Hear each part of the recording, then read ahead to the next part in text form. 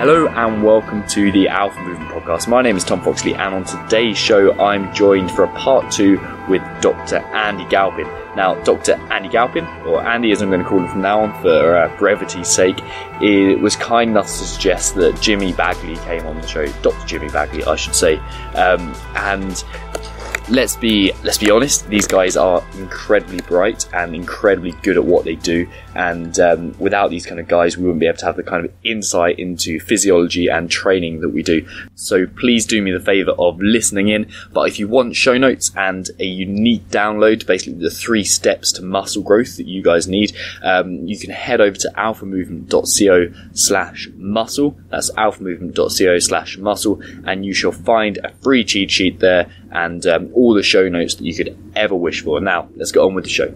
So, welcome to the show, Andy and Jimmy. How are you doing, guys? Great. Thanks for having us, Tom. Fantastic. Great to be back. Cool. So, I think what we should do first is um, is Jimmy say hello, just so we can do voices. All right. So, I'm Jimmy. Okay, and Andy, go. I'm Andy.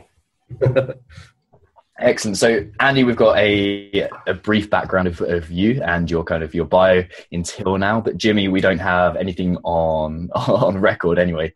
Um, so, why don't you give us a quick uh, introduction to who you are and what you do? Sure, sure. So I'm an assistant professor at San Francisco State University, um, California. Uh, I've been here for about a year, so I'm a new assistant professor. Um, I just started uh, a new lab called the Muscle Physiology Lab, and we're working pretty tight with Andy's group down in Southern California. Um, just doing a lot of research on muscle physiology, human physiology, all all real human stuff. So it's kind of where we're at. I teach muscle mechanics to grad students and undergrads, and I teach exercise physiology to undergrads as well. Nice. So when Andy and I left off last time, we'd been talking about um, a study with some twins that you had, um, and I think Jimmy, are you the best person to speak to about that study? Uh, yeah, parts of it. I can kind of give you a, a, background about how it started, if you'd like. Yeah, sure. Um, yeah. So um, it was kind of funny. I was after I finished my PhD, I was working in Andy's lab. He was nice enough to uh, take in an unemployed PhD uh, for a couple yeah, months. How nice do I have to be? I'm not going to pay you. You want to come to work in my lab? Well, I'm the nice one here. Hey, it's paying dividends now with the publications. But um, anyway, so I was in the lab with one of his grad students, and we were just talking, and uh, and she was uh, mentioning her dad was a twin, and I was like, oh, that's kind of interesting. You know, what does he do? Oh, he's an elite um, Ironman triathlete it's like, oh, that's really interesting. What does his twin brother do? And his turns out his twin brother did like absolutely no exercise for the past 35 years.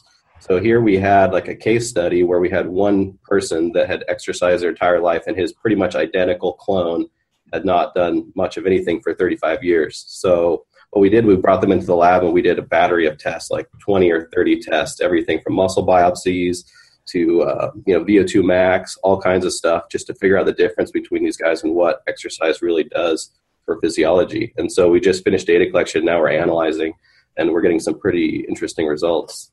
So, what kind of results are we looking at? What's the what's the big takeaways? Uh, exercise is good for you. that's, kind of, that's kind of one of the takeaways. Um, yeah, so obviously this guy was an endurance athlete, so he had pretty high aerobic capacity, right? Like much higher than the average average uh, average Joe out there, but he actually wasn't that strong. Um, so you know, we saw that maybe just doing straight endurance exercise not the best for muscle strength, obviously, as you'd kind of think. But um, right now, we're teasing apart his fiber type to try to figure out what their fiber type differences are. And we should get that data, Andy, any time now. Yesterday, actually, we Yesterday. got it. Well, maybe you could speak about that more then. I, I can't because we haven't uh, got the other twins yet. Mm. So, um, Jimmy, what you'll you'll know this very well that uh, we got the untrains back yesterday, and it was ex- almost exactly like we would predict, which is a lot of what we call Tom uh, hybrid fibers. Yeah, these are muscle fibers that are actually co-expressing multiple types in one single cell. So it's kind of a fancy way of saying an individual muscle cell or muscle fiber is both fast and slow twitch. And what we typically see is the more untrained you get, the more of those fibers uh, you have around. And so th- this lined up perfectly well. Now, what's going to be very interesting is what the train twin looks like, and we can't move forward with that until Jimmy gets his ass back down here because we need him for a couple of things. Um, but what actually, I think the interesting part about that, Tom, is you know, so none of, nothing that we shared with you so far is really surprising. Mm. But what we're trying to do, and, and we do have some surprising stuff um, that we can't reveal quite yet. Um, but the I think what's interesting is is we know you know like Jimmy said exercise is good. We know VO2 max is going to go up. We know that uh, a lot of health markers will improve if you exercise your your entire life. But what we don't know are things like what's the magnitude. So how much can you improve? Three percent, twenty percent, eighty percent. Um, what's and, and there's no way we could say that because we could never control for genetics. So this is one of the few times when we ever when we've been able to say, look, um, we know genetics and we know training play important roles in in all of your physiology and all of your function, but we don't know exactly how much each plays. Well, now we have a number, um, and it is a case study. It's only one, so it is limited. But we can literally say um, if if untrained twin is has a score of 100, I'm just making up 100. Mm. Trained twin has a score of 180. Well, then we know it, it is physiologically possible, and it might take three decades, but you can almost double your number here, whatever that number is, or cut it in half, or, or, or whatever. So I think that's what's going to be really interesting um, uh, is to tease out is what's the magnitude of change, and fiber type is a good example of that. I mean, we know, uh, and Jimmy published a nice review paper a couple of years ago on the topic um, in a in a astronaut spaceflight sort of journal. But we know that you can change your fiber type with physical activity. We've known that for a long time, but we never necessarily knew how much. Uh, so this is going to give us an indication of, of how much exactly plasticity you have in something like fiber type. So I'm assuming it will show a huge change in mitochondrial density as well. Yeah, probably if we were to measure that, that's kind of on our radar too to to go after eventually. Um, kind of brings us. We're look, we're looking at some imaging stuff with the muscle cells themselves. So I, I can kind of talk about that a little bit. Yeah. Uh, yeah. So basically, you know, we tease out individual fibers down in Andy's lab to look at fiber type, right? Um, so these muscle cells are smaller than a human hair we have to do it under a microscope, but we can also take those fibers out and um, lay them on a microscope slide and actually stain them with you know various dyes to look at organelles like mitochondria. So we can actually look at the number and volume of mitochondria. Also, what we're pretty interested in is looking at the nuclei. So, you know, muscle cells have multiple nuclei. If you remember, everybody remembers back to basic biology, a cell has a bunch of organelles, right? And the nucleus is right in the middle. It usually looks like a nice picture, but in real life, you know the nucleus could be anywhere in muscle cells. There's hundreds or thousands of nuclei. And those are what control things like hypertrophy atrophy uh, fiber type shifts things like that. So we're able to actually look at those and that's kind of going to be a big part of the next couple months when i get down there is to image these cells and look for those. And we can if you go to andy's website uh, for his lab there's some nice pictures of some actually what the muscle fibers look like. It's really cool. Yeah and yeah. jump in right there. Um, what's you know, Jimmy kind of went over it pretty quickly there, uh, but what people don't really understand, if you walked into a biology department and you said, "Hey, we found a cell that had more than one nuclei," like everyone with PhDs in biology would be like, "What? No, unbelievable!" And yet, humans, we know that we have that, and we have thousands. So I, I think uh, Jimmy can speak the accuracy of this, but uh, I think you said one time that human skeletal muscle fibers are the biggest cells in all of biology by volume.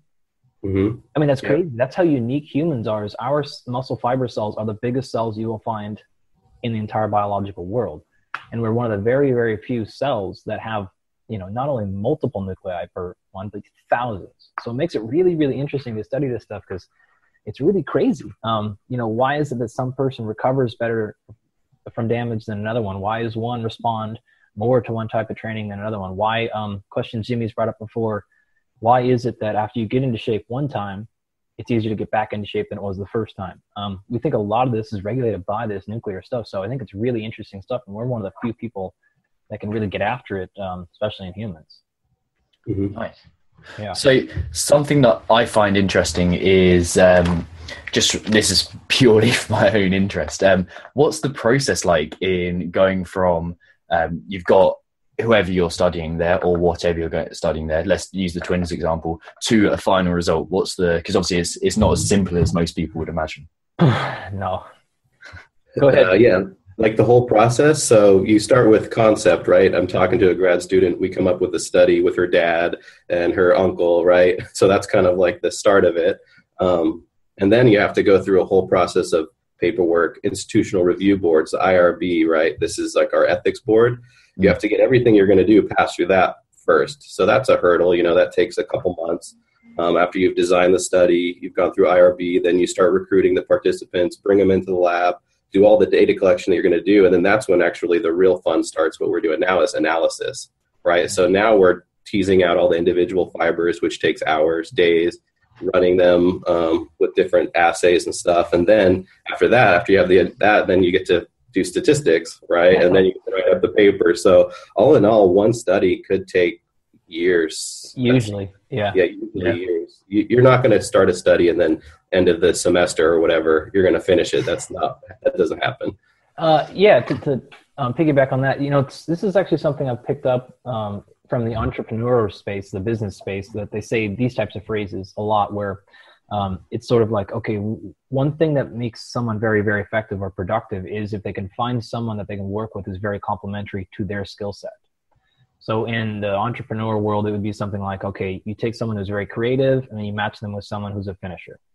You know, this type of stuff. Mm. Um, well, it's a similar thing here where I would love to be able to tell you that, hey, you know, Jimmy and I meet once a quarter and we sit down on a board and sketch out all of our ideas of what we're going to, like, that's just, that's it. No way does it happen like that. It's mostly over beers or it's, you know, like at the end of a workout or in the middle of the shower and then you get these crazy ideas. And for me, uh, I'm generally heavy towards the idea side. You know, I, I, get a lot of ideas. I'm not necessarily a finisher. Um, Jimmy is an idea guy too, but a massive finisher. So we work mm. really well like that. Uh, he's a much better and much faster writer than I am, um, which is also. Uh, I don't know about that. Well, I've been pretty slow lately, but. well, when you have time, mm-hmm. uh, it's sort of funny because, like, I'll get these things, and Jimmy, you probably get them too, where I get someone I don't know that emails me or tweets me or something like, "Hey, I got this idea for a study you should do." I'm like, "Thanks, thanks." An idea is the last thing a creative needs. I promise. Yeah.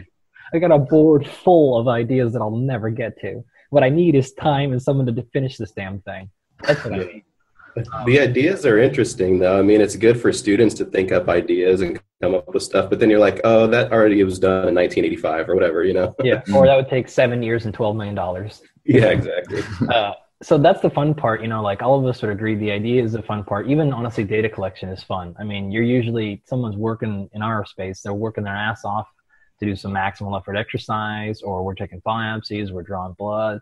Like, and even the analysis can be fun, but what's, what's really hard is the end. And you have these spreadsheets and databases with hundreds of numbers, and you're trying to come up with something that makes some semblance of sense because you know science doesn't work like oh you measure this one thing here's your result there's your answer like, that's yeah. not how it works it's you got a multitude and think this one's up and this one's down but this one went this way this one didn't change and you're trying to come up with some sort of story out of that and that's usually where projects sort of die you're like yeah we were super excited about that and then um, oh boy, I just don't want to go back into that. And you know, we'll do this all the time. Jimmy and I will will take two, three months off from a project, and it takes two, three days or a week to get your head back into what's going on.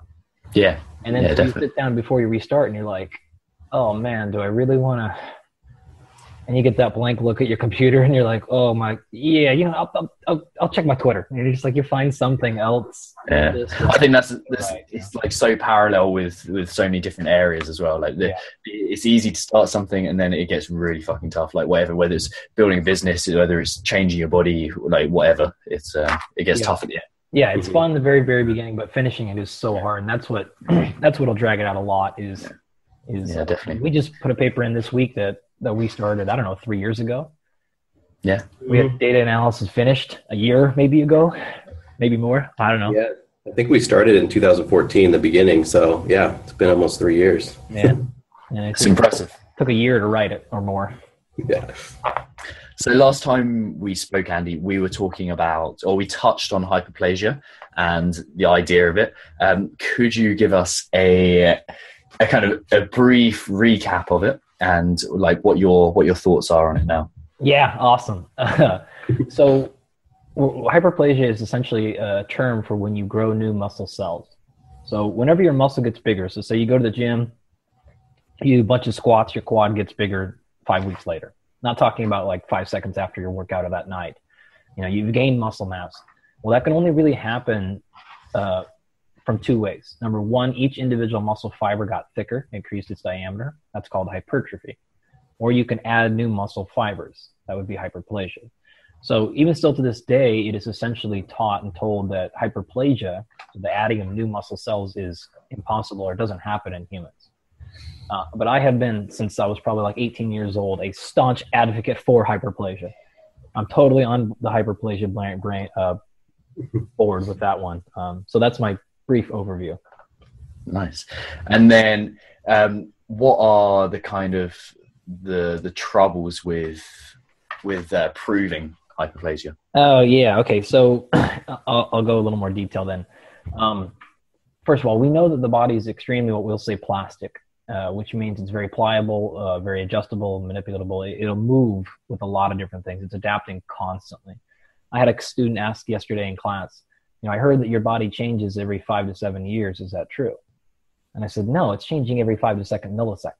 Mm-hmm. I mean, it is constantly moving um, where it is. So uh, we know that you can grow new cells in basically every type of cell type you have in your body. And for some reason, we think that muscle doesn't do that. Uh, and so for me, the burden of proof has to be on you got to show me it doesn't because it seems much more logical for it to grow. And that's all based on early work um, in probably Jimmy's 70s, 60s, something like that. Um, as far as hyperplasia, yeah, with the cats and the animals. yeah, yeah, that was the '60s, uh, early '60s, where they did the cat model. But in that model, they were uh, you know actually able to remove limbs and count the fibers one by one, whereas we can't do that in humans. yeah. So to answer your question, Tom, what we'd have to do is we'd have to, t- and this is what they did uh, with those cats, is they cut off one leg, count all the fibers on your leg. Now you got to remember, Jamie told you earlier, the size of your individual fibers are less than the size of your hair, so you can imagine sticking all those into a quadricep and you imagine counting, I don't know, millions of fibers in a, in a muscle. Oh yeah. So in humans, it's impossible. Even in a cat, that's, that's ridiculously difficult. And then what we'd have to do is we'd have to say, okay, you've got a million fibers in this right leg. Well, then let's put your left leg through 12 weeks of training or 12 years or 12 days or whatever it is. And we got to cut that leg off and count all the fibers. That's the only way we would really be able to verify that there was more fibers in that one side as, as a result of training. Now, we know that you go through hyperplasia when you're developing. Um, you know, as a, as a very young kid, I don't know what age you have your fiber numbers set. Do you have an idea, Jimmy? Probably up to past puberty, up to you know end of growth, whenever that is, yeah, early so adulthood, probably. Still adding cells at that point, but after that into late adulthood, you're you're pretty much set in thought, anyways. And so, you know, the problem with it is uh, one, how are we logistically feasibly going to be able to do that, and then two, Tom, are you going to put your hand in to volunteer for that study? You're not going to give up both your legs. Or... Yeah, yeah, I'll do that. yeah, right. I love science, but not that much. So yeah, I mean, the best evidence for hyperplasia in humans came from I think 80s and early 90s in bodybuilders. Yeah. So you know, obviously, bodybuilders have much bigger whole muscles than normal people. That's the point, right? Get your muscles as big as possible. But um, when they look under a microscope at the cells, they weren't obviously able to count every cell, but the cell sizes were either similar or even in some cases smaller than normal humans. So if they have smaller cells but bigger muscles, they must have much more cells, right? Um, whether or not they were born like that or they grew those over time, and then that throws in the you know the equation of testosterone and um, exogenous testosterone. Yeah, exogenous, right? Yep. Yeah. So steroid use. Um, mm-hmm. Yeah. So that's the best we can do is is we just look at those those studies like that of looking at these groups compared to that group. That doesn't tell us you know, was that a result of, or were they born like that? So that's our current limitation. And, uh, you know, some of the stuff that, that Jimmy has played around with a little bit, and I don't think we can say too much about this is, you know, there's potential we could come up with some equations to be able to calculate those numbers right now. Now they have a decent error factor. Um, and I don't know if they would get through review, uh, but we may be able to get to ourselves to a place where we can have an, a, a rough estimate. Um, and then maybe, you know, who knows with 20 years of technology, maybe we'll be able to just take an ultrasound to your quad and count all the individual fibers. Yeah. Mm-hmm. So um, something that kind of that comes to mind when you're talking about muscle growth is the pump, obviously. Yeah. And like, the thing I was wondering is, is there any actual physiological benefit that only happens when your muscles are pumped and there is a lot of blood flow there, or is it just simply a byproduct that doesn't have any kind of benefit? Well, it's tough to say. Um, I, to back up, I, so that we're speaking the same language here, what people generally refer to about the pump is when you literally, like you leave the gym or you're you're just got done training and your muscle feels like it's pumped, right? That's what you're referring to. Yeah, jammed up, right? Well, it feels great. Yeah, best time to go to the beach. Yeah, yeah Friday night mission. right. Uh, yeah. So um, it, what we know happens is hypertrophy. There's several mechanisms that cause hypertrophy. Um, one of them is metabolic stress. So this is the burn, right? This is why the old adage of you know uh, no pain, no gain. This is even though those things are not correct, and I can't remember if I mentioned this last time, but we know, for example, there's almost no relationship between the amount of, of DOMS that you have and the amount of growth you get. So, in other words, if you crush yourself in the gym and you know someone tells you and you're absolutely shot, and someone says, you know, one more rep, one more set, and you go another one, and then you do one more exercise, and you're just crawling out of the gym, you're probably not, and you're just you know wrecked sore for two, three, four, five days. You're probably not getting any more growth than you are if you just stopped. Mm. Uh, now, if you walk out of the gym feeling fresh and like, hey, I feel great right now, you probably didn't do enough work. And so it has to burn a little bit. There has to be some metabolic stress there, but that doesn't mean metabolic crippling. Right. Yeah. So me- metabolic stress is, is one thing, you know, the, the burn, anyways. Um, mechanical tension is another. It's got to be at least fairly heavy. Um, and to to cause some sort of mechanical stress to need to happen. So the filaments that reach up and, and connect to each other and pull and cause the muscle to contract have to be stressed on some level, uh, or I should say, can be. And then the third one, or uh, in addition to that, is some sort of damage, right? And so again, people talk about this all the time. So if you look at all three of those categories, you don't have to have all three to have hypertrophy. You need to have at least one, probably best if you have a little combination of all three. So the pump is totally in that. If you're getting to a place where you're, you're pumping and you have more blood flow to an area and your, your bicep is swollen, your tricep or your you know forearm or whatever it is, is pumped up, you've probably created at least metabolic stress to that area, which will probably result in some hypertrophy. It's, I would say, pseudo indicator, but um, it, reasonable enough. Um, what's sort of funny because, like, I, you know, the more I, you know, the old adage, that people say, you know, the more you learn, the more you realize that you're dipshit. You know. Yeah. Uh, I think the saying something like that, anyways. Uh, it's sort of funny when you go back and look at these things like this, and these are all bodybuilding ideas from 50, from the 70s, 60s, and stuff, and you realize you're like, well, the pump, that's stupid. You know, whatever. Okay, you don't know what you're talking about. The the burn, you don't know what you're talking about. It's like, well, damn it. Okay, you had silly terms, but you kind of actually were onto something a little bit, anyways. It's got a burn, got to pump, or those help. Um, which have, have opened up the door for things like blood flow restriction training, occlusion training, which have, you know, when that stuff came out, it really honestly shocked the research world. You're like, you can induce massive hypertrophy when you train it with five pound curls and a 220 pound trained athlete. Yeah. So that's actually what something I wanted to touch on. So, um, Jimmy, can you give us a bit of uh, an understanding about what occlusion training is and like kind of the benefits of it? Sure, sure. That's a yeah, it's a good transition into that. So occlusion training, um, it's also called Kaatsu training in Japan. It's been around for hundreds of years, if not more, probably. Uh, but it's basically where you right take a band and wrap it around either your upper arm or your leg or some part to occlude the the blood flow below that. And the idea is that you're able to lift at a lower intensity. So say you're used to lifting, you know, seventy percent, ten reps or something like that. In this case, you would lift maybe twenty or thirty percent um, and potentially get similar benefits as as lifting heavier. And the idea is because you're creating that metabolic stress and thereby occluding oxygen and and not allowing byproducts to leave um, through the blood and things like that. So that's kind of the basic idea behind it. Um, and I think there is a lot of use for it, especially in people that uh, may potentially have you know injuries where they're unable to lift a heavy load. They may do some type of occlusion training so they can get or at least maintain what they've got um, in that in that case. So yeah, nice. Yeah, Do you reckon you? Oh, no, Andy, sorry. No, so say I was just in um, uh, Houston not too long ago, uh, and I talked actually with some of the guys at NASA, uh, and I was talking with one of the, I think he's the head strength conditioning coach at NASA, and he was saying that, and actually, I don't know if I'm supposed to tell you this, especially foreigners. I don't know. Maybe this is secrets. Yeah. Trade. Wiki, WikiLeaks. I'm probably the FBI is probably outside of my door right now. um, but he was saying this is one of the things that they're exploring with the astronauts. Um, that's such a challenge with them. Of course, this is the you know probably the main limiting factor of us getting to Mars or anyone getting to Mars is the the bone mineral density and muscle mass issue. So what he's saying is they're actually exp- exploring um, taking these blood flow restriction devices up to space, but putting them actually will they'll, they'll say cover the entire quad. instead of just being a tourniquet style like over your top of your muscle, it would include big chunks of the muscle. And this is sort of interesting because Jimmy and I have worked in, in this area for a decent amount of time where uh, there has been, I don't know, hundreds of millions of dollars spent in trying to figure out this muscle mass wasting issue with space life. Mm-hmm. And the problem is, if you watch the, the Barbell Shrugged Full Depth episode when they were down at NASA, you know, it's really, really complicated. You can't just take a squat machine up there.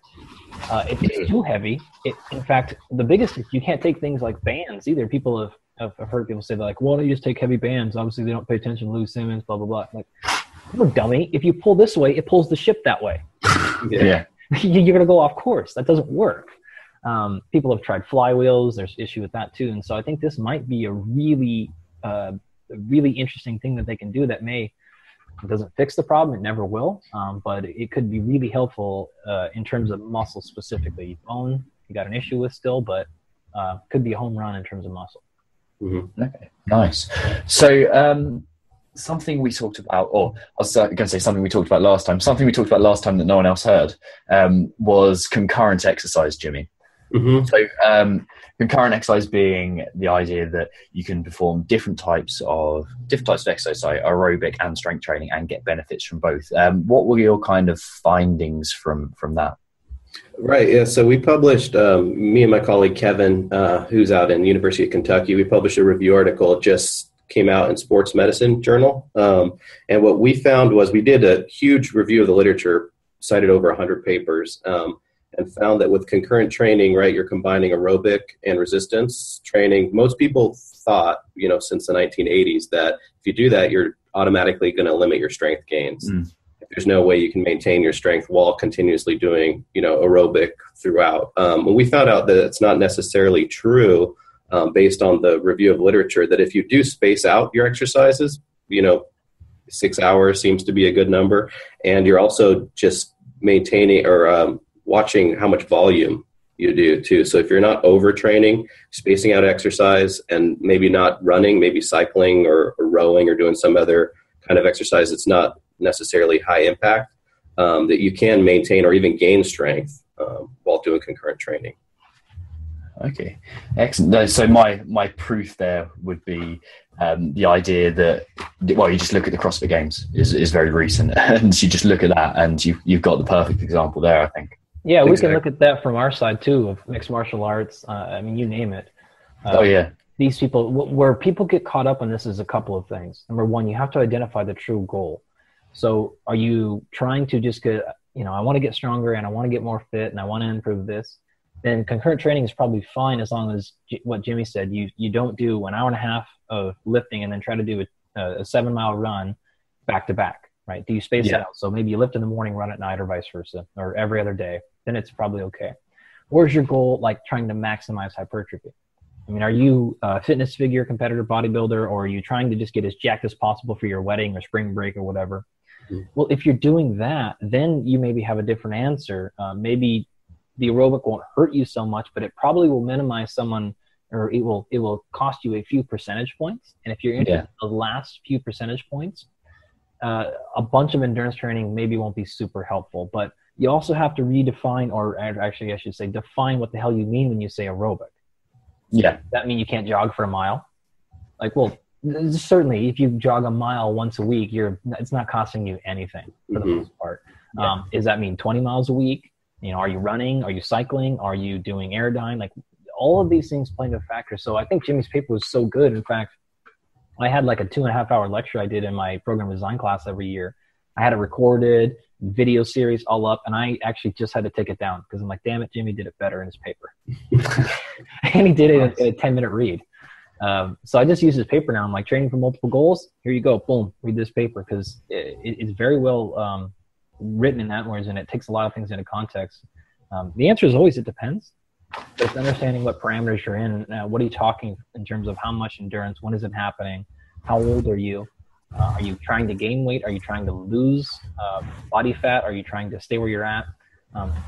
Those all you know, Yeah, yeah. It like you're saying, Andy. It's not like we're telling a shot putter to go run around the track and then go. You know, what, like they should not be running probably. But for the general public, a little cardio is not going to hurt.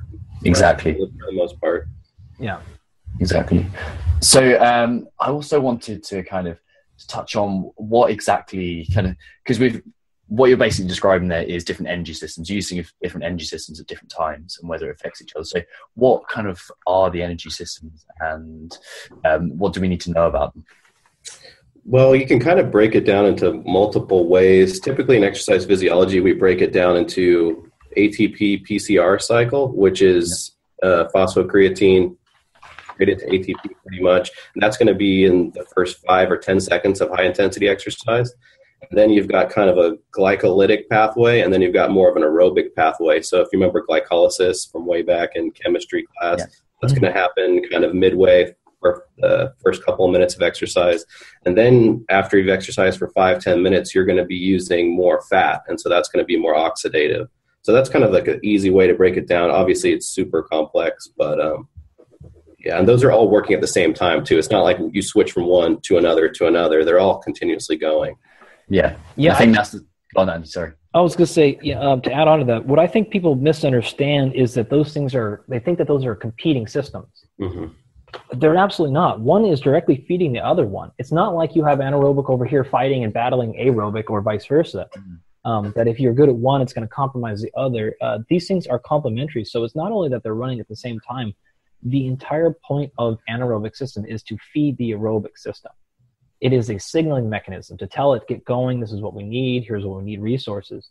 So um, that's a big misunderstanding with those environments. And, and, if you look at something like lactate it is a classic example of that. Lactate, lactate is a byproduct of anaerobic glycolysis this is a fancy way of saying it is a it is only made when you go through anaerobic or uh, the break the metabolization metabolization? The metabolism Something like that. Yeah. of sugar. Okay so you're using sugar. It is create creates lactate as a byproduct. But lactate directly signals aerobic system to sort of get going. So it, it's not like it's fighting it or, or it's, it's, a problem or aerobic is here to fix anaerobic or anything like that. It is its way of saying like, hey, the only way that you can talk to the aerobic system is to, oh, not the only way, but one way you can talk to it is to activate or start anaerobic and vice versa. So it's a big misunderstanding with energy systems. So I'll seamlessly transition into your thoughts on ketosis. Uh, I'll, I'll, go ahead and jump off on this one first. Um, so, what I'll say is, is first and foremost, your body is meant to adapt. And so I think that people have to be very careful when they do things like, oh, I cut this out of my diet, or I started this way and I immediately felt better for two weeks or three weeks or something. Um, because again, your body is meant to adapt. So sometimes what usually happens is week one or two, it's like a struggle, but then week three or four, you feel great. But oftentimes by week five, six, seven, eight, all of a sudden you're back to where you started in the first place. Mm. Um, so variety is key. Variety in your training, variety in your food uh, is really, really key. So oftentimes when people make uh, big switches in their their diets, in this example, uh, you'll feel terrible for a couple of weeks, and then after that you feel great. But then usually you come back to sort of baseline. Now, uh, those diets I think are really really exciting for a couple of things. There's obviously a lot of research out showing some really impressive stuff with them. Um, it, it's not it's nothing new. It's been around for quite some time, um, but that doesn't mean there aren't massive limitations in it. For example, uh, there is a dearth of literature on what it does to females. So women in particular need to be very cautious, and that is not at all to say women shouldn't do it or that it can't work. But we all know now, especially with the new genetic testing that's becoming available in the new fields of nutrigenomics or nutrigenomics and nutrigenetics, um, it, it, really depends on like what's your genetic background. So if you have uh, ancestry that is a different place, you might respond really well to a high fat diet if your ancestries come from another place, you might not respond well to that diet because you don't have the genes, the proteins, the enzymes available to process that, or you don't regulate them well, or you, you can't build enough of them. So I think any, for me, any diet that is fairly reasonable is always an option. It always depends on the situation, who's using it, when, and it, it is something that you should try, do markers on, you know, test, and recognize if it did work for you, I believe it for sure. But if it doesn't, you need to recognize that as well, um, and you have to be careful with what you consider to be, um, you know, working or not. The the the literature is, I think, in general, um, overrepresented, so it's not as good as people say it is. Um, because of the limitations of entry level stuff. Whenever you first start a new topic in science, it, it's always very speculative. You have small sample sizes. It's done in usually untrained people. Um, it's not done in high level athletes. It's usually not done in women. Usually the, the measures or the markers are very entry level, but that's not a criticism. That's just the reality of it hasn't received extensive study until recently. So um, we have to recognize what it is and what it isn't. Um, what it is not is a miracle cure that some sort of say it is. Um, but it is an option for some people, I think. And, and when people tell me, hey, I did it and uh, I, I, got way better at this, um, I, I, believe them. Um, hmm. but that doesn't mean that everyone should go on it. Yeah, I mean, like you're saying, it's a lot of inner individual differences. So you're going to be different than me, and really, the only way without doing a whole nutrigenomic panel on yourself and figuring out what works is experimentation, right? You can maybe start with a hardcore ketogenic diet and maybe transition into something more like a modified Atkins diet or something. Like you're not, you have to think about like, you know, who has uh, I guess money involved in this too. A lot of protein bar companies and and you know stuff like that. If you're just going on a straight protein diet and eating nothing but bars, probably not going to work out for you. Uh, you're going to have to eat some you know normal food as well too. So it's totally inter individual. Well, that's actually that's a really good point. Um, so one of the difficulties with interpreting literature, Tom, is that no one can decide on what that diet actually is. Mm-hmm. Um, and so Jimmy just brought up that. Now, traditionally, the original ketogenic diet was a very, very high fat, low protein, low carbohydrate. Well, that's been modified. And if you look at the literature, there are diets that are fairly high in protein that are still called in the, in science a ketogenic diet. And so you start to have a really tough time interpreting what's actually going on when people are using, you know, it's just like what paleo was five years ago. Yeah. You know, who the hell know what that meant when you said it? I don't know. It depends on whose book you read. Um, so it just depends. You know, the scientists aren't even agreeing on what they're calling things the ketogenic diet. So that makes a real challenge. Um, and there's also a difference between eating a ketogenic diet and actually being in a ketogenic state. Yeah, definitely. Which is is very very different too. So um, Marie Spano gave a fantastic talk about this and has a great thing on her website that um, she reviewed extensively the literature and um, I think she presented a very fair uh, representation of what's going on and shows a lot of the limitations um, and shows of course the, benefits as well again I, I think she did a, a, very nice job so i like her um, her breakdown of it um, there Cool. So something I also wanted to touch on was the kind of the physiological side of mobility restrictions and flexibility, because I think lots of people just think it is short muscles in air quotes, um, but it's a lot more complicated from that um, than that. So I just wondered if you could touch on that. Um, let's go for Jimmy for this one. Um, can you repeat the question? Sorry, you were a little glitchy on there. Okay, so um, basically, lots of people think that um, mobility restriction is just short muscles. Mm-hmm. Um, but it's a lot more complicated from that um, than that. Sorry. So, what kind of things are we looking at that actually cause restrictions? Um, Andy, do you want to pick that up? I'm not sure. Yeah, yeah. Uh, so, it's really, really tough when we look at human movement. Uh, it's so complex and multifaceted. It's virtually impossible for us to be able to tease out one thing is causing movement, one thing is not causing movement, or one thing's restricting movement. So, uh, as an example, we've published several studies looking at foam rolling. Right now, people will tend to say, and I and I love this. It always makes me chuckle on the inside, and I, I generally don't say it, but when you hear people online or in a textbook or you know in person, they say things like, "Hey, you got a foam roll or roll on this thing because it does," and then you wait for that explanation of what it does physiologically, and I always laugh because I'm like, "You're full of shit." we have no idea that it breaks up scar tissue. We have no idea that it unwinds connective tissue. Now, I laugh usually in love because a lot of my friends um, are the ones saying it, but I'm only laughing because I'm like, man, like it's so impossible for impossible for us to actually tell what's going on, and it does. Um, it is a great example of a classic fallacy of logic, uh, and this gets it's called the fallacy of fallacy. So this gets a bit complex, but it's going to make the point here. So the fallacy of the fallacy states that just because you prove or disprove the legitimacy of the explanation doesn't prove or disprove the legitimacy of the phenomenon itself. In this particular example, okay, say I I am, am, am I'm, I'm coming up here and tell you like there's no physiological evidence that rolling a lacrosse ball unwinds tissue. because there isn't. Just because I can prove or disprove that doesn't actually mean that a lacrosse rolling on a lacrosse ball doesn't help you. Hmm. I, I just can't explain why. And that's the best explanation I could say that. So, you know, when my friends, you know, you know Kelly and, and, and people like this say these things, I'm like, well, just because maybe their exact explanation isn't scientifically documented doesn't mean they're not right in what they're telling you to do. So I think that's an important thing is it would be almost impossible for us to actually verify what's happening because of the complex nature of muscle contraction. Um, you have to understand that you've got skeletal muscle, of course, like those cells we've been talking about. And around each individual fiber is wrapped with connective tissue. And then around each individual bundle of tissues or of fibers, those are all connected with, with connective tissue.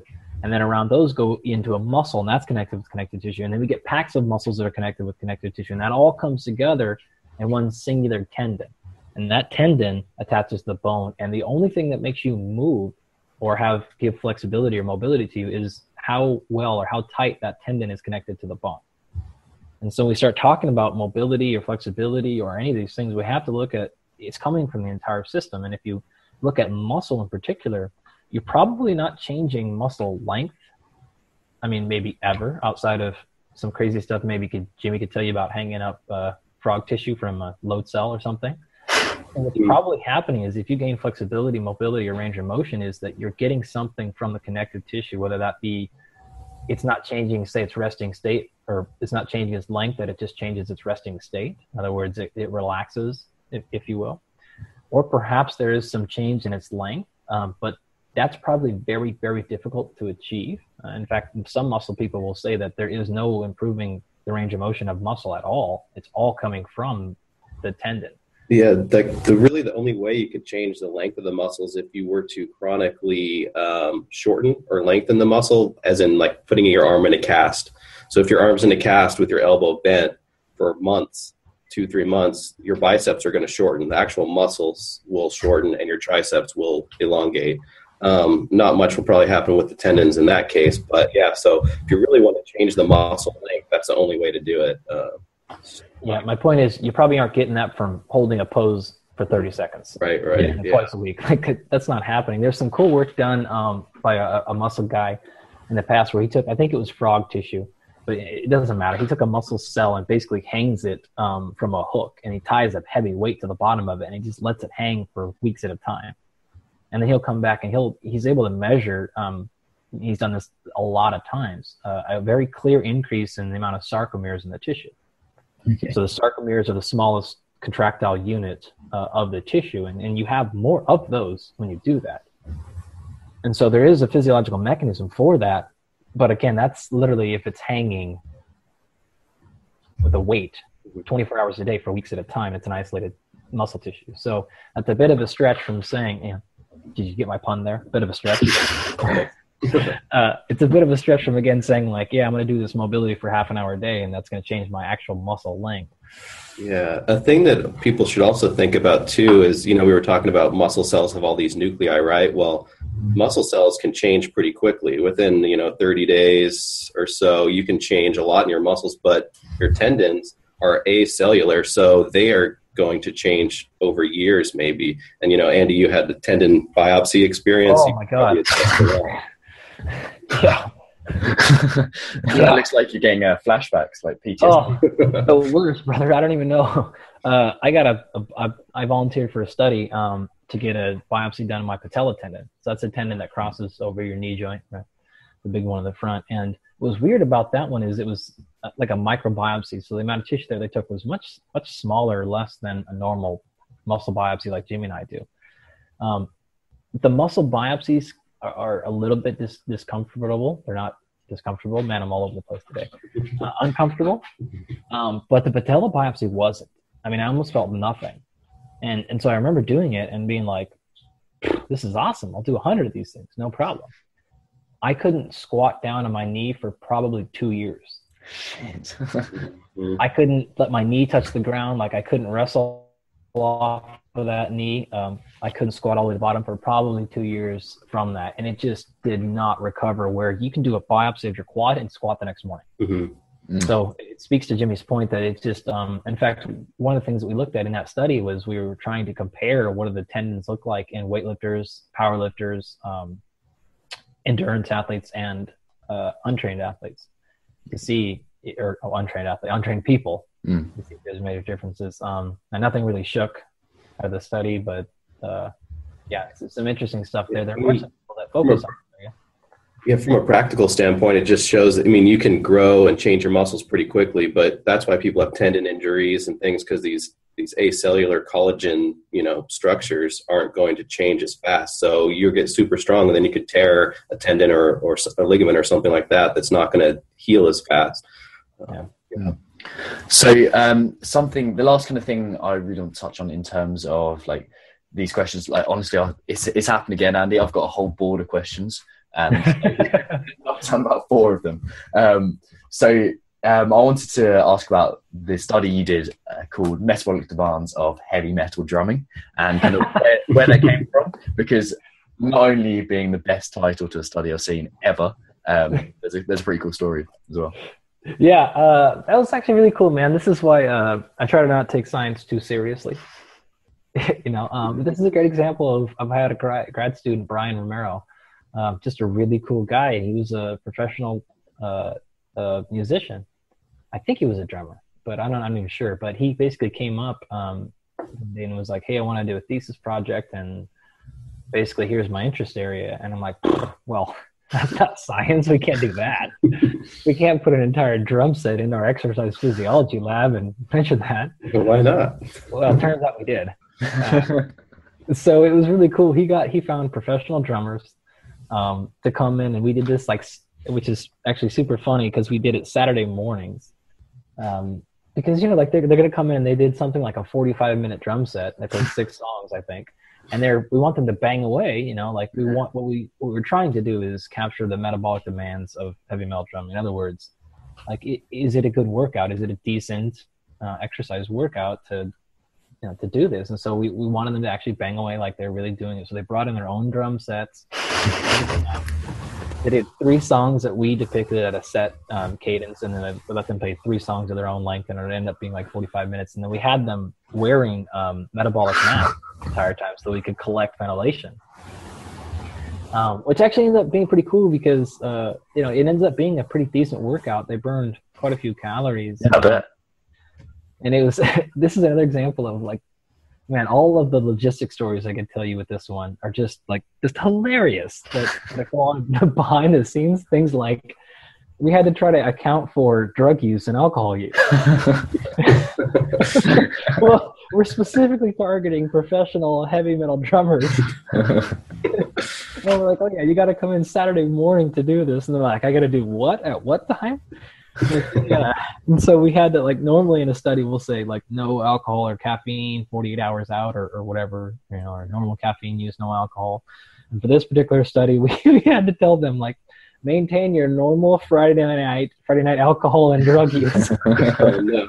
so you come in under the same circumstances time, which was funny. And uh, yeah, I got a lot of phone calls and emails on Saturdays being like, "What the hell is going on in the lab?" yeah, they're doing it right, that's okay. That's awesome. Yeah, so, so we published in a kind of a little low journal there. Um, pick out it out. It's fun. It's interesting. Um, you know, I can tell you this too that I don't know if you've, if you've heard. Uh, uh, actually, you probably haven't. Um, you know, a mutual friend of ours, Chris Moore. I think he's was one of your first one of your first uh, guests. Yeah, I think he's about twenty four, episode twenty four, something like that. Yeah, so you know, Chris is a near dear friend of mine. Um, well, we lived together uh, probably eight years ago or something now, 10 years ago maybe. And uh, Chris was 370 pounds and going up at the time that we lived together. He was getting ready for uh, trying to break a world record in powerlifting. And I was about 150 pounds uh, and I was going down and I was getting ready for national championships uh, in, in Olympic weightlifting. So it's funny, you know, uh, you know, we were constantly in this battle in our house of, you know, he wanted every fan on in the house and I wanted every fan off. And, you know, he's hypercaloric and sweating, doing everything because he's almost 400 pounds and I'm just cold all the time and, and under eating, all this stuff. Well, uh, like he got, he got super into rock band. You remember that old video game? Yeah. Yeah. That's great. so he was like, he was always banging away at this drum set with so funny because he took it so seriously. He's just crushing away and going. He got all the way up to like expert level, and and he would just go nuts. And he would just be dripping in sweat. And one day I came into the house, and I, I don't remember. I came home early for something. Uh, unexpectedly, I got off earlier or something like that, and so he didn't think I was coming home yet. And I walk in the door, and I open the door, and he's in the middle of the living room, and he had built himself like a custom mic stand to hold, to hold the mic. He's crushing away. He is blasting singing to like his heart's content. He's covered in sweat. and, I, and I open the door and he sees me and he looks at me and he's like, like that look in his eyes that I just got home early and I caught him doing something else, you know? he's like he just tails off in his song and just like puts the microphone away. Oh no! down and just leaves and goes into Oh, his love bedroom. that. Yeah, it's awesome. So I, I always, I always remember that story when, when we did this drumming study. I'm like, man, I wish I could have, I wish I could have sent Chris's paper. Um, he would have Yeah. loved it because I know for sure that it is a metabolic cost to drumming heavy metal if you get after it. So that was his cardio. I like it. Um, so the last kind of things I'd like to touch on are um, any daily routines you follow, whether that's health, whether that's mindset, whether it's anything like that. Um, so Jimmy, do you want to go first? Yeah, I've actually been trying to, you know, get a actually a routine going. I think that having a routine in general, at least during the work week or whatever, is really important. Um, the summers I've been a little off, but I typically get up, you know, around six or six thirty. Coffee is the first thing. I can't go without my four shots of espresso. Uh, so that's Impressive. four shots. Uh, that's what I go for in the morning, and then try to get some writing and stuff done. Usually before I do emails. So I try to get you know thirty or forty minutes in in the morning of ideas, writing, and then just planning my day, and then going from there. But yeah, I've got a few things I'm trying to work on, but usually that's it. Just getting the day started off right. I'm a, I'm a little different. Uh, I get up uh, probably uh, most of the time before five. Um, in the early fours is, is my preference. I don't get to do that as much anymore, uh, just because of schedule wise. But uh, probably the latest five fifteen um, that I'm up and out. And and I'll usually come in and I like to uh, to get things off my plate immediately. Like, uh, and that, what that usually means is students emailed me a question about lab experiments we're running the night before, and they need to know the answer now um, Mm. because that stuff doesn't wait. Chemistry doesn't wait. Mhm. So it's usually like, hey, if they don't make the right decision right now, the whole experiment can be ruined. Uh, and so I try to get on that immediately because I have students that are running stuff overnight. They're working when I'm asleep. And so I want to make sure that there's no catastrophe or nothing bled out. So I'll do that very quickly. But uh, I'm actually, um, this is where I will differ from your probably normal crowd, Tom, considerably. I am staunchly opposed to uh, extensive routine. Okay. Um, I am in routine in terms of like I like to go to bed about the same time and wake up at the same time. But uh, there's nothing in my life that, and I've tried to do this on purpose, that I absolutely have to do to make my day work well. Or there's one thing that I can't get away with not doing. Um, I actually think that's a major limitation, um, both, I would say, uh, uh, phil- philosophically, I believe that, and physiologically. Mm. Um, now, I mean, I'll drink coffee like the rest of us, uh, but honestly, sometimes I forget, uh, or I'll drink like two drinks and then leave it, or No way, I can't forget. I'm a- I'm a big- doesn't either. Um, but I, I don't think that, um, as I mentioned earlier, variety I think is physiologically very important. Now, variety needs to come with some stability. Uh, and so, what I don't mean is like you shouldn't wake up at 7 a.m. one day and then noon the next day and then 3 a.m. Like that's going to be a train wreck. I Yeah. do once in a while you should get really, really, really thirsty. Um, you should get overheated. You should do something that's too heavy once in a while, and by once in a while, maybe once a month. Um, You should probably not eat for 20 hours or 24 hours once in a while. Um, get tremendously uh, exhausted, stay up all night or something like that, um, or sleep extra, sleep for 15 hours in a day. Um, so to me, that's it's really important to do that, and so I like to have my waking and bedtime fairly simple or fairly standardized. Uh, but the rest of my day, like there's nothing like I have to meditate today. I have to journal. Um, I don't. I don't ever like to be in a situation where I feel like the first three hours of my day is, is set because I have all these damn things I have to do. That's interesting. Going. Um, you know, like Jimmy is is probably similar to me. Like sometimes I wake up with my alarm or before my alarm, and I'm like, I'm so invigorated. I'm so damn excited for my day, and I'm I'm so clear headed. I don't want to go dick around with meditating for half an hour. I'm like, I, I want to do this now before this idea gets out, or and I'm so That's excited this. uh, that I just crush, and I want the space to be able to be like, you know what, if I wake up really clear headed, um, which happens a lot for me, or really excited, I don't want to put that energy away just because I've decided I'm going to arbitrarily make sure I do 30 minutes of stretching in the morning or something. Yeah, I'll, I'll do it later. Um, let me go crush. Um, I like that. I like the idea about um, getting comfortable being uncomfortable as well. Uh, I think that kind of lends itself to the kind of stoic philosophy as well. I think that's that's, that's really cool. Um, yeah, you know, like like uh, Chris Moore would always say is like, you know, with training, ride the wave. So if, if the surf's good, man, go surf. If it's not, then don't. And you know, neither one of us surf. But his point was, if if you wake up or if you go to the gym and like you're on, like go ahead and go a little bit more. Exactly. Um, but then recognize when when it's not there, it's not there. And at that point, then maybe I'll do some strategies to maybe reinvigorate the juices or something. But um, man, if it's there, I'm not gonna I'm not gonna do something because I've set some sort of stupid schedule to go journal or, or something like that. So I, I try to not have things like that in my life. And in real life, if the surf is good, you do have to go because I do surf and I will miss class if the surf is good. I will from all uh, routine. I think that's fair enough. And then if we can just squeeze in one more, um, what um, who's the first person you think of when you hear the word successful? That's really hard. I mean, success is so subjective. Yeah, I can, exactly. If I can say one thing, uh, I'll say Dr. Andy Galpin when I think. Ah, the bromance is strong. uh, you know, I'm gonna go out you here with um, I'm gonna say my neighbor Gus. Yeah, why's that?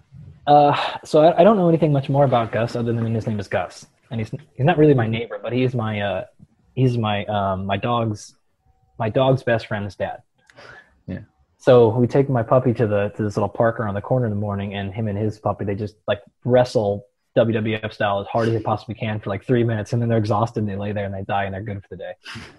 Um, but the guy's crazy because you know he, he's usually up super early in the morning, but he's he's so happy all the time and he's so mentally relaxed. And all I know is that he's a consultant uh, for like engineering of some sort. Uh, and he's got a nice house in Orange County, not super nice. Um, I think appears to be doing well financially, well-ish. Um, but the reason why I say he's successful is he, he just never seems like he's flustered by anything. He's yeah. he, I see him all the time on like at like two o'clock in the afternoon, like on his lawn, in a, in a lawn chair, just like talking to the neighborhood people. He's got a he's got a couple of kids, and he's always taking them to practice and stuff. So it doesn't look like he's he, to me. He seems like he's found a very good balance between his income and his livelihood, and the things he likes to do. He spends every Saturday in the dog park, hanging out with other dogs, doing things for other people. He's always watching other people's stuff, and I'm like, man, how do you? He's not old. He's not mm-hmm. retired. He's super young. And I'm like, how did you how do you balance uh, a job like consulting for engineering firms, which has got to take a lot of horsepower and a lot of time? And the problem with that is you only make money when you work. Mm. So he's, he's not drawing salary. So how do you balance that? Yeah, that's cool. Work and stuff. So to me, I'm like, dude, you're just you're super happy. You sounds like you've. You know, I, don't, I don't know what's going on behind the scenes. Being content with where you're at, I guess. Exactly. Yeah. I've um, I've got someone like exactly like that who who was actually a guest on my podcast. He's one of my old personal training clients. Him and his wife used to, nice. And um, yeah, they've just got it nailed. Like a guy called Chris Fisher. Like he's just he, was, he said to me the last thing I because he lives in New Zealand now. The last thing I, he said to me face to face was, "You can't change what happens to you, only how you react to it." And it's like, oh, that's one of those things that I should remember. Like that's that's that those moments. Um, so yeah, that always sticks in my head. And guys, I'm really sorry. I'd love to carry on this chat, but for hours, um, but I have to shoot now. So thank you so much for jumping on the show. Yeah, thanks for having us. No Always a blast, man. Keep rolling. You're doing great. Uh, cheers, man. Thank you. Thank you for listening to another episode of the Alpha Movement Podcast. Remember, you can head over to alphamovement.co slash muscle to download your free cheat sheet detailing the three mechanisms behind muscle growth and exactly how to use them to get maximum impact. Also, head over to facebook.com slash alphamovementofficial or head over to alphamovement.co um, to find out more about the Alpha Movement or subscribe on iTunes, Stitcher, or wherever you listen to your podcast. And whilst you're there, don't forget to leave a five star review. Alternatively, you can find me, Tom Foxley, mostly on Facebook because that's where I spend most of my social media time. Ciao.